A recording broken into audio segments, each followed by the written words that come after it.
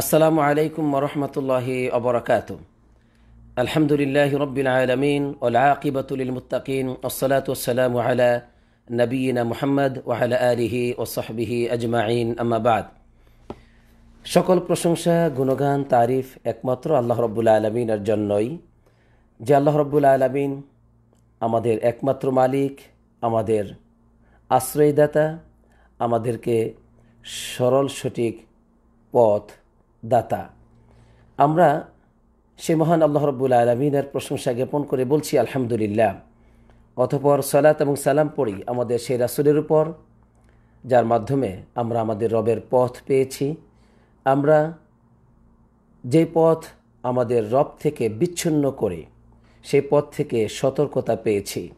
তার উপর পড়ি সাল্লাহ আলহি ওসাল্লাম সুপ্রিয় দিনী ভাই বোনেরা, যারা মদিনা মুনাওয়ারায় রয়েছেন, সৌদি আরবে আছেন। আর যারা সৌদি আরবের বাহিরে পৃথিবীর বিভিন্ন অঞ্চলে বসবাস করছেন।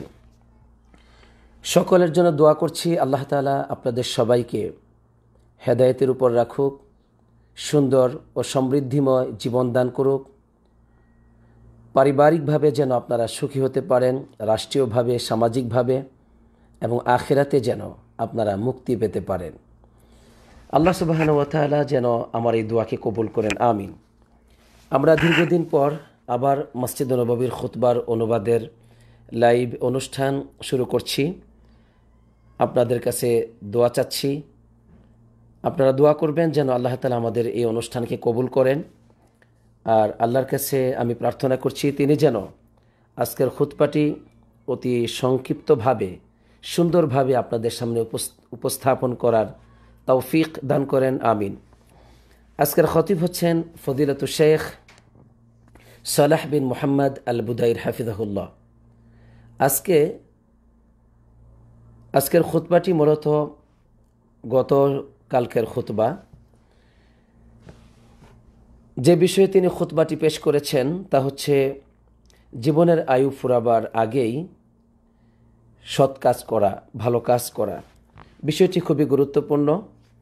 সম্মানিত খতিব সাহেব, অত্যন্ত আবেগ দিয়ে, ভালোবাসা দিয়ে আমাদের সামনে বিষয়টি তিনি পেশ করেছেন।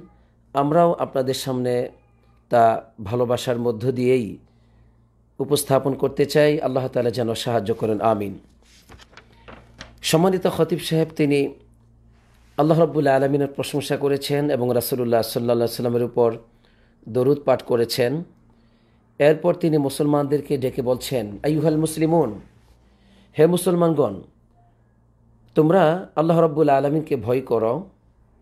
তার সন্তুষ্টির পথে প্রচেষ্টা চালানোর মধ্য দিয়ে এবং তার অবাধ্যতার পথকে পরিহারের মাধ্যমে তোমরা আল্লাহ রব্বুল আলমিনকে ভয় করো। কেননা আল্লাহ রব্বুল আলমিন বলেছেন, যেমন সুরত আল ইমরানের একশত দুই নম্বর আয়তে ইয়াইহাল্লাদিন আমানুত্তাকুল্লাহ হাক্ক তুকাতিহি ওয়ালা তামুতুন্না ইল্লা আংতু মুসলিমুন। হে বিশ্বাসীগণ, তোমরা আল্লাহ তালাকে ভয় করো, ভয় করার মতো যথাযথ ভয় করো। আর তোমরা পূর্ণাঙ্গরূপে আত্মসমর্পণ করা ব্যতীত মৃত্যুবরণ করো না। এভাবে আল্লাহ তালা আমাদেরকে তাকে ভয় করতে বলেছেন। অতপর সম্মানিত খতিব সাহেব বলছেন, হে মুসলমানগণ, এই পার্থিব জগৎ, এই দুনিয়া হচ্ছে মাতা ও আত্মা। এটা হচ্ছে ভোগ সামগ্রী, লালসাময় এবং এটা হচ্ছে মানে আকর্ষণীয় একটি জায়গা। এর মধ্যে রয়েছে চাকচিক্যতা, তবে এটা হচ্ছে মাতৃক অবশ্যই তা ছেড়ে দিতেই হবে। মাতৃক পরিত্যাগ করতেই হবে, ইচ্ছায় অনিচ্ছায়।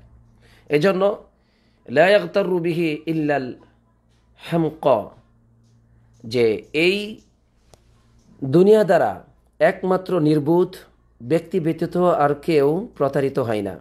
তাহলে সম্মানিত খতিব সাহেব, এই দুনিয়ার মাধ্যমে যারা প্রতারিত হয়, দুনিয়ার লোভ, লালসায়, লালচায়, আকর্ষণে যারা নিমজ্জিত হয়, যারা মত্ত হয়ে যায়, তারা হচ্ছে নির্বোধ নাউজুবিল্লা কারণ এটা হচ্ছে ক্ষণস্থায়ী।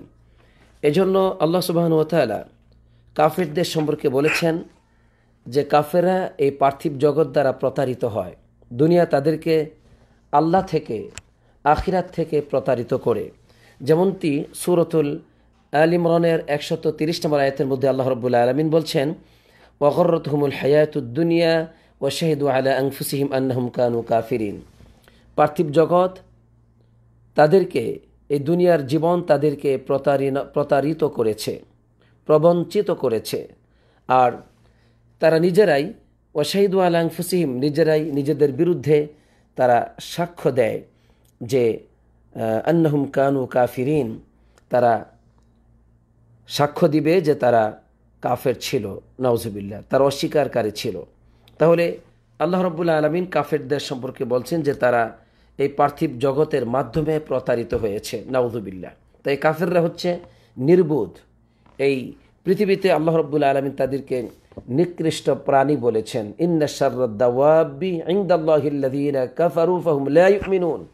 আল্লাহর কাছে নিকৃষ্ট প্রাণী হচ্ছে তারাই যারা ইমান আনে না, তারা। এজন্য এই পার্থিব জগৎ তাদেরকে প্রতারিত করেছে নওজুবিল্লা আল্লাহ রব্বুল আলমিন সুরতুল আলার ষোলো এবং সতেরো নম্বর আয়াতের মধ্যে বলেন, বাল তু ফিরুন আল হায়াত দুনিয়া ওয়াল আখিরত খৈরু আবাক। তোমরা বরং তোমরা এই পার্থিব জগৎকে প্রাধান্য দিয়ে থাকো, অগ্রাধিকার দিয়ে থাকো, অথচ আখেরাত হচ্ছে অধিক উৎকৃষ্ট, উত্তম এবং এটা হচ্ছে আবক, যা যা হচ্ছে স্থায়ী, আলহামদুলিল্লাহ। যা অনন্তকালের, যার শুরু আছে, শেষ নেই, এমন আখিরাতকে আমরা ভুলে যাই আর পার্থিব জগৎকে আমরা প্রাধান্য দিয়ে থাকি নাউদুবিল্লা ইবনে মাসুদ রদি আল্লাহ তালানহু তিনি এই দুনিয়ার জীবন সম্পর্কে তিনি সুন্দর কিছু বাণী মানব জাতির জন্য দিয়েছেন যে এই দুনিয়ার জীবনটা কেমন?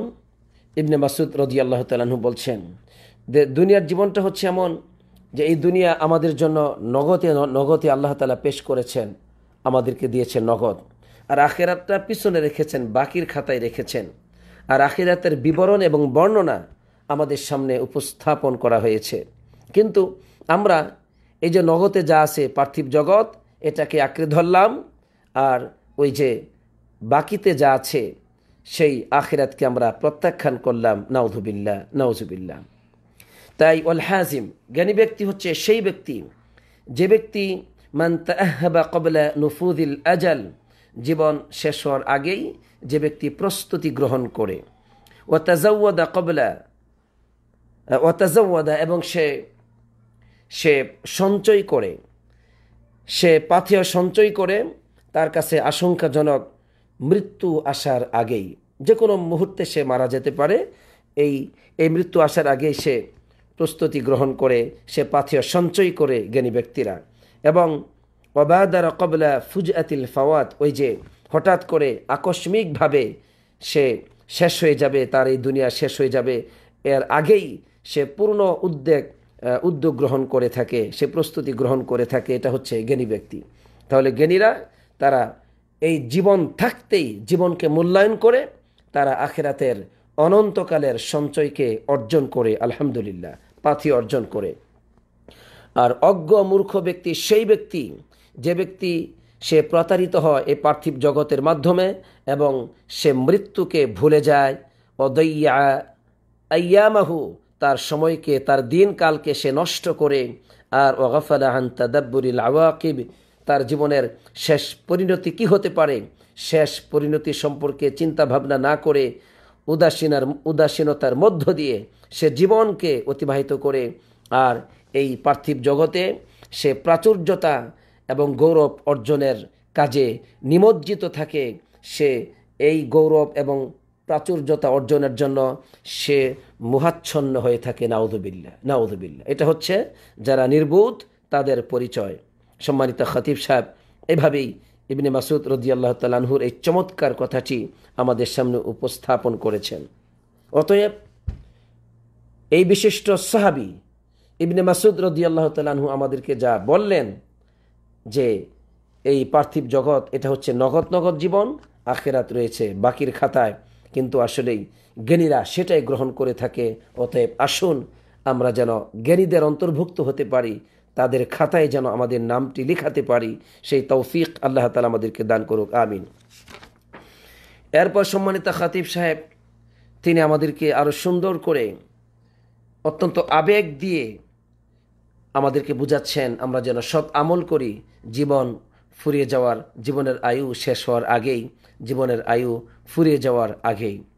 তিনি বলছেন হ্যাঁ মুসলমানগণ, হতে পারে এমনটি তোমার জীবনে যে ওসিয়ত, নসিয়ত গ্রহণ করার আগেই তোমার জীবন শেষ হয়ে যেতে পারে, মৃত্যু চলে আসতে পারে।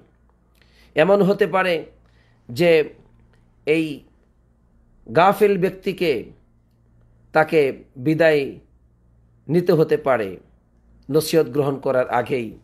এবং মৃত্যুর ঘোষণা চলে আসতে পারে। সে এমত অবস্থায় সে সামান্যতম দান খয়রাত সে করত না। এভাবে করে হতে পারে মৃত্যু তাকে ডাক, ডাকতে পারে। কিন্তু দেখা যায় এমত অবস্থায় সে অমা আদ্দা হাক্কান, তার উপর যে হক ছিল সেটা সে আদায় করে নাই। সে কোনো জ্ঞান চর্চামূলক কাজে আত্মনিয়োজিত করে নাই। সে কোনো নহর অথবা খাল বা কূপ, কোনো কিছুই সে এভাবে সদকাতুন জারিয়া হিসাবে ব্যবস্থা করে নাই। সে কোনো বৃক্ষরোপণ করে নাই, কোনো মসজিদ নির্মাণ করে নাই, সে সন্তানদেরকে কোরআনের শিক্ষা দেয় নাই বা সে কোনো মাসহাব বা কোরআনের এই যা সদকাতুন জারিয়া হিসেবে কোনো খেদমত সে করে নাই, কোনো ওয়াকফ সে করে নাই। এভাবে ভ্রান্ত এবং বিবেকহীন হিসাবেই সে জীবনযাপন করেছিল নাউজুবিল্লা এমনটি হতে পারে, ইমাম সাহেব বলছেন যে, হতে পারে তোমার জীবনে এই ওসিয়ত গ্রহণ করার আগেই তোমার মৃত্যুর ঘণ্টা বেজে যেতে পারে আর তুমি কোনো ভালো কাজ করলে না। অতএব, ফায়া আমান বাখিলা আলা নফসিহি ওয়ালাম ইয়াতাজাওয়াদ লি হে অমুক যে নিজের ব্যাপারে কৃপণ এবং আখেরাতের কোনো পাথেও সে সঞ্চয় করে নেয়, তাকে তিনি বলছেন যে, তোমার মাল তো সেটা তোমার নয়, তুমি জমা করেছ মাল অন্যের জন্য। কৃপণদেরকে তিনি বলছেন যে, তুমি তো কোনো কল্যাণ কাজে অর্থকে খরচ করনি, সামান্যও তোমার কোনো ভালো কাজে তুমি অর্থ খরচ করনি। এবার তুমি তোমার জীবন সম্পর্কে একটু চিন্তা করে দেখো, তোমার জীবনটি তুমি কোন পথে অতিবাহিত করেছ। অতএব তুমি তোমার সম্পত্তিকে এমন কাজে ব্যয় করো যা তোমার আখেরাতের কল্যাণে কাজে লাগবে। এমনভাবে তোমার সম্পদকে তুমি ব্যয় করো। এরপর তিনি দুটো হাদিস নিয়ে আমাদেরকে আরও সুন্দর করে বুঝিয়েছেন। রাসুল্লাহ সাল্লা সাল্লাম কী বলছেন? সম্পত্তি সম্পর্কে। আবদুল্লাহ বিন শিখের রদি আল্লাহ তালাহু বলছেন, আমি রাসুল্লাহ সাল্লা সাল্লামের কাছে আসলাম, এসে দেখি তিনি কোরআনুল কারিমের এই আয়তে কারিমা পাঠ করছেন আল্লাহ কুমুত্তাকাথুর যে ধন সম্পত্তির প্রাচুর্যতা এই, এর প্রাচুর্যতা তোমাদেরকে মহাচ্ছন্ন করে রেখেছে নাউজুবিল্লা এই আয়াতে কারিমা তিনি তেলত করছেন। আর তখন তিনি বললেন যে, বনি আদম শুধু বলে, আমার মাল আমার মাল অথচ ওহাল্লাকা ওহাল্লাকা ইয়াবনা আদম মিন মালিক ইল্লামা আকালতা আফনাইতা। হে আদম সন্তান, তুমি যে শুধু মাল মাল করো, তোমার মাল, আরে তোমার মাল তো এতটুকুই যতটুকু তুমি খেয়ে শেষ করেছ। অথবা আবুল আবিস্তা আবলাইতা, তুমি পরিধান করে সেটাকে পুরাতন করেছ। তোমার মাল তো ততটুকুই যতটুকু আউতা সদ্দাক্তা আমদইতা, তুমি যতটুকু সদ্গা করে সেই মালকে শেষ করেছ, সেটাই তো হচ্ছে তোমার মাল। বাকি যা রেখে যাওয়া হচ্ছে, এগুলো মূলত আমাদের মাল নয়, অথচ আমরা বলি আমার মাল আমার মাল, এগুলো আমরা বলি নাউজুবিল্লা হাদিসটি সই মুসলিমে আসছে। এমনিভাবে আবদুল্লাহ বিন মাসুদ রদি আল্লাহ তালাহু তিনি একটি হাদিস বর্ণনা করছেন, যে হাদিসের মধ্যে রাসুল্লাহ সাল্লামের সাদ করছেন, আইয়ুকুম মাল ওয়ারিথিহি আহাব্বু ইলাইহি মিন মালিহি? তোমাদের মাঝে কে আছে যে নিজের মালের চাইতে ওয়ারিসের মালকে সে বেশি পছন্দ করে? তখন সাহাবাই কেরামগন বলেন হে আল্লাহ রাসুল, আমাদের মাঝে এমন কেউ নাই যে নিজের মালের চাইতে ওয়ারিসের মালকে পছন্দ করে, বরং প্রত্যেকেই সে তার মালকে অধিক পছন্দ করে। তখন নবী করিম সাল্লা সাল্লাম বলছেন, ফাইন্না মালাহু মা কদ্দামা, একজন ব্যক্তির মাল তো সেটাই, সে যা নিজে দান খরাত করে পেশ করেছে, আল্লাহর পথে সে খরচ করেছে। অমাল ওয়ারিথিহিমা আখারা, এবং তার ওয়ারিসের মাল হচ্ছে সেটাই যা সে রেখে যাচ্ছে নাউজুবিল্লা তাহলে যা সে রেখে যাচ্ছে, সেটা হচ্ছে ওয়ারিসের মাল, আর যা সে পেশ করেছে, সেটাই হচ্ছে নিজের মাল। আল্লাহ আকবর। অতএব আমাদেরকে নিজের মালের চাইতে যেন অন্যের মালকে আমরা বেশি পছন্দ না করি, অর্থাৎ আমরা যেন আল্লাহর পথে আমাদের সম্পত্তি সম্পত্তিকে খরচ করি, ভালো পথে খরচ করি, তাহলে সেটা হবে আমার মাল আমার মৃত্যুর পরে সেই মাল আমার পার্শ্বে থাকবে। আমি সেই মাল উপভোগ করতে পারব। আল্লাহ তালা আমাকে মহা পুরস্কার দান করবেন। আল্লাহ আমিন আল্লাহ আমিন। সম্মানিত খতিব সাহেব, তিনি কবির ভাষায় বলছেন যে, কবি বলেছেন যে, তুমি তো তো তোমার ওয়ারিসের জন্যই তোমার মালকে তুমি ছেড়ে দিয়ে এসেছ মানে মৃত্যুর পরে একটা ভাব প্রকাশ করা হচ্ছে যে, তোমার, হায় আফসুস তোমার তো কোনো মাল নেই এখন। আর তোমার আপনজন স্বজনরা তো তারা আনন্দ আনন্দ চিত্তে জীবনযাপন করছে। আর তুমি তো তাদেরকে ছেড়ে দিয়ে তোমার এই যে অবস্থা। এরপরে বলেছেন যে একজন বকিল তার কাজ হচ্ছে সে তার উত্তরাধিকারের জন্য, সে তার উত্তর উত্তর, উত্তরাধিকারের জন্য মালকে খরচ মালকে রেখে রেখে গিয়ে থাকে এবং সে যা রেখে যায়, এটা হচ্ছে বিনষ্ট হয়ে যায় এই মালটি অথবা বৃথা হয়ে যায়, অনার্থক হয়ে যায় এই মালটি। এজন্য কৃপণ ব্যক্তি এমনটি হয় যে সে মাল জমা করতে করতে তার জীবনটি শেষ করে যায় জীবনটি একেবারে শেষ করে দেয়, আর সে যা রেখে আসে সেটা হচ্ছে ওয়ারিসদের জন্য, আর ওইটা বিনষ্ট হয়ে যায় নাওজবিল্লা এমনটি বাস্তবতা আমি, আপনি অনেক পাবো আমাদের সমাজে। যে অসংখ্য মানুষ তারা অনেক বেশি কৃপণতার মধ্যে জীবনযাপন করে, এরপর অনেক সম্পত্তি তারা রেখে মৃত্যুবরণ করে। দেখা যায়, তার সন্তানরা অনেকেই সেই সম্পত্তি তো ধরে রাখতেই পারে না, সেই সম্পত্তি তো সন্তানরা ভোগ করতে পারে না, অন্য অন্য মানুষ ভোগ করে, অথবা সম্পত্তিগুলো অনার্থক নষ্ট হয়ে যায়, কোনো কাজে আসে না, সন্তানরা সেটা দিয়ে কোনো কল্যাণ করতে পারে না। মা বাবার জন্য কোনো খরচ করবে মানুষের কল্যাণের জন্য খরচ করবে, এমন কিছু করতে পারে না তারা। এমনটি আছে। এজন্য কবি সত্যিই বলেছেন যে, বখিল, কৃপণ ব্যক্তি তার জীবনটা ব্যয় করে শেষ করে দেয়। জীবনের সমস্ত যৌবনকালকে শেষ করে দেয় সে সম্পত্তি অর্জনের জন্য। এরপরে যা রেখে আসে ওয়ারিসদের জন্য, অথবা সেটা বিনষ্ট হয়ে যায় নাউজুবিল্লা তাই সম্মানিত খাতিব সাহেব, তিনি আমাদেরকে আবার বলছেন, হে আল্লাহর বান্দা, চক্ষু দিয়ে নয় অন্তর দিয়ে তুমি একটু চিন্তা করো এবং তুমি ওই দিনটাকে একটু চিন্তা করো, স্মরণ করো, যেদিন তুমি বিদায় হয়ে যাবে। সেদিনের অবস্থা সম্পর্কে তুমি একটু চিন্তা করো যে তুমি তোমার ভাই বোন তোমার আপনজন, প্রতিবেশী আত্মীয় স্বজন এদেরকে ছেড়ে দিয়ে যেদিন তুমি চলে যাবে, বিদায় হয়ে যাবে, ওই দৃশ্যটি একটু চিন্তা করো।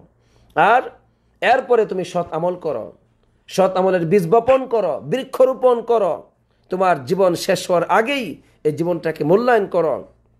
আর মনে রাখবে, এই যে তুমি নিজ হাতে যে আমলটি করবে এবং যা তুমি নিজে দেখবে নিজে রক্ষণাবেক্ষণা করবে, তোমার এই আমলটা আর যে আমলটা করার জন্য তুমি কোনো ব্যক্তিকে দায়িত্ব দিয়ে আসবে, তোমার মৃত্যুর আগে দায়িত্ব দিয়ে আসবে, এই দুইজনের আমল কি সমান হতে পারে? কখনো হতে পারে না। আপনি নিজে যেইভাবে দান খয়রাত সদ্গা করবেন, আপনার সম্পত্তিকে আপনি নিজে দান খয়রাত করবেন। এটা এটা কেমন হতে পারে? আর আপনি যদি সন্তানদেরকে বলে যান যে, তোমাদেরকে জন্য এত কিছু রেখে গেলাম, তোমরা আমার জন্য মৃত্যুর উপরে সদ্গা করিও। কাজ হবে? হবে না। কেন? তিনি বলছেন যে, তুমি তো জানবে না। তুমি যাকে ওসিয়ত করেছ, তোমার যে দায়িত্বশীল, তোমার যে প্রতিনিধি, সে যথাযথভাবে সেই কাজ বাস্তবায়ন করেছে কি না নাকি সেখানে কোনো পরিবর্তন, পরিবর্ধন করেছে, নাকি বিলম্ব করেছে, না বিনষ্ট করেছে, না কি করেছে, তুমি সেগুলো জানবে না। এখানেই তিনি সমাপ্তি ঘটিয়েছেন প্রথম খুতবার। আর দোয়া করলেন, হে আল্লাহ, আমাদেরকে উদাসীনতা থেকে তুমি মুক্তি দান করো। আমাদেরকে তুমি ধ্বংসের পথ থেকে বাঁচাও। আমাদের গুনাহগুলোকে, পাপ মুঙ্কিলতাগুলোকে তুমি ক্ষমা করে দাও। এখানে তিনি শেষ করেছেন। এরপর বললেন, আমি আল্লাহর কাছে ক্ষমা চাচ্ছি। তোমরাও আল্লাহর কাছে ক্ষমা চাও। নিঃসন্দেহে আল্লাহ তালা তিনি ক্ষমাশীল। এরপর সম্মানিত খতিব সাহেব দ্বিতীয় খুতবায় আমাদেরকে বলছেন, হে আল্লাহর বান্দারা, তোমরা আল্লাহ তালাকে ভয় করো এবং আল্লাহ তালাকে তোমরা পরিদর্শনকারী হিসেবে গ্রহণ করো, তার আনুগত্য করো, তার অবাধ্য হবে না। তিনি এরপর বললেন, হে আল্লাহর বান্দা, যারা আল্লাহর আনুগত্যের ক্ষেত্রে সীমালঙ্ঘনকারী, আল্লাহ তালা তাকে ওই সীমালঙ্ঘনকারীকে বলছেন, যে ব্যক্তি আল্লাহর আনুগত্যে সীমালঙ্ঘন করে তাকে বলছেন যে আল্লাহ তালা তো তাকে অনেক রিজিক দিয়েছেন, অনেক সম্পত্তি দিয়েছেন, তবে এখন আর কবে তুমি, আর কতদিন বিলম্ব করবে, কখন তুমি তওবা করবে, কখন, তখন যখন তুমি দুনিয়া থেকে বিদায় হয়ে যাবে, যখন আখেরাতকে সচক্ষে দেখতে পাবে, যখন মৃত্যু তোমার কাছে এসে উপস্থিত হবে, তখন, যখন তোমার উপর নেমে আসবে গ্লানি এবং আফসুস, তখন তখন কি তুমি তোমার রবকে বলবে হে আমার রব, আমাকে তুমি একটু ফিরে আমাকে ফিরিয়ে দাও, যাতে করে আমি যা খারাপ কাজ করেছি সেটাকে ঠিক করতে পারি, সংশোধন করতে পারি। তুমি কি তখন এটা বলবে? তখন কি তুমি যার উপর জুলুম করেছ, যাদের উপর তুমি জবরদস্তি করেছ, যাদের উপর তুমি অত্যাচার করেছ, তুমি ক্ষমতা প্রয়োগ করেছ অন্যায়ভাবে, যাদের সম্পত্তিকে, যাদের হককে তুমি লুটিয়ে নিয়েছিলে, তখন তাদের কাছে তুমি এই তোমার কাকতি মিনতি পেশ করবে? তোমার অজুর আপত্তি পেশ করবে তখন? কখন তুমি করবে? আর কত বিলম্ব করবে তুমি? আর কত বিলম্ব করবে? হায় আফসুস হায় আফসুস, এটা তো আদৌ সম্ভব নয়। যে মৃত্যু হঠাৎ চলে আসবে, কখন আপনি তবা করবেন, কখন আপনি মানুষের কাছ থেকে, মানুষের উপর যে জুলুম করেছেন, যে অত্যাচার করেছেন, মানুষের শান্তিকে আপনি যে নষ্ট করেছেন, কখন তাদের কাছে আপনি আবার কাকুতি মিনতি করবেন? সেই সুযোগ তো আপনার হবে না। মৃত্যু চলে আসবে। অতএব, তুমি যদি তোমার নিজের উপর দয়ালু হয়ে থাকো, তুমি সত্যি যদি তোমার রবের আজাবকে ভয় করো, তাহলে তোমার অতীতে যা ভুল হয়ে গেছে, সেটাকে সংশোধন করার চেষ্টা করো। হীনতা থেকে মুক্তি হও, মুক্ত হও এবং তোমার নিজের জীবনকে পাপ পঙ্কিলতা থেকে মুক্ত করো, হারামকে বর্জন করো, হালাল দিয়েই আত্মতৃপ্তি লাভ করো আর মানুষের হক, অধিকারকে ফিরিয়ে দাও, ঋণকে আদায় করে দাও, ঋণকে আদায় করো আর যা অতীতে চলে গেছে, যা ভুল হয়ে গেছে, যা হক আদায় করতে পারোনি, সেটার জন্য তুমি আফসোস করো। তবে সময় ফুরানোর আগেই জাগ্রত হও। মৃত্যুর আসার আগেই অগ্রগামী হও। তোমার রবের দিকে অগ্রসর হও। ফিরে যাও সেই রবের দিকে। যেই রব তোমাকে তোমাকে সৃষ্টি করেছেন, তোমাকে সুঠাম, সুন্দর করেছেন, সেই রবের নিকটবর্তী হও। মৃত্যুর আসার আগেই তুমি তার দিকে ফিরে যাও সুবাহান আল্লাহ এবং তার কাছে তুমি তোমার কাকতি মিনতি বিনয়কে তুমি পেশ করো। তোমার গুনার জন্য তার কাছে ক্ষমা চাও তবা করো। আর জেনে রাখবে, যে ব্যক্তি তবা করে সে এমন হয়ে যায় যে তার আর কোনো গুণা কোনো পাপ থাকে না সুবাহান আল্লাহ এরপরে তিনি দোয়া করলেন, হে আল্লাহ, আপনি আমাদেরকে আপনার অভিমুখী করে দিন। আপনি আমাদেরকে, আমাদের প্রতি আপনি দয়া করুন, আপনার অভিমুখী আমাদেরকে করুন এবং আপনার কাছে যা আছে তার প্রতি আমাদের হৃদয়ের মধ্যে আকৃষ্টতা দান করুন। হে আল্লাহ, আমাদের এই ইমান দ্বারা আমরা আপনার কাছে দোয়া করছি এবং আপনার উপরই আমরা ভরসা করছি। এভাবেই তিনি দ্বিতীয় খুতবাটি শেষ করেছেন। আমার প্রাণপ্রিয় দিনী ভাই বোনেরা, আজকের খুতবাটি সত্যি হৃদয় বিদারক এক খুতবা যে আমরা সত্যি এই জীবনটা থাকা অবস্থায় জীবনের মূল্যায়ন করছি না। দুনিয়ার মুহে মোহিত হয়ে দুনিয়ার সম্পদ অর্জন, দুনিয়ার যশ অর্জন, খ্যাতি অর্জন সহ এই পার্থিব জগতের লালসায় আমরা মত্ত হয়ে জীবনযাপন করছি। আমাদের রবকে ভুলে গেছি, আমাদের রবের ভয়কে ভুলে গেছি, আখেরাতে কিছু পাওয়ার স্বপ্নকে আমরা ভুলে গেছি নাউজুবিল্লা এই জন্য সম্মানিত খাতিব সাহেব, তিনি আমাদেরকে বলে দিলেন যে জীবন ফুরানোর আগেই তোমরা দান খরাত করো, খরচ করো, তোমরা যা রেখে যাচ্ছ এগুলো ওয়ারিসের জন্য, বরং তোমার নিজের জন্য কিছু পাঠাও।